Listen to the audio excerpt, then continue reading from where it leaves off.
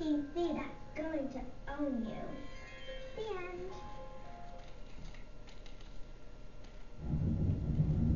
Monday on CBS, you never know what to expect when you look for Love Online. Allison Janney guest star on new episode of TV's number one comedy, Two and a Half Men. Again, it's Monday.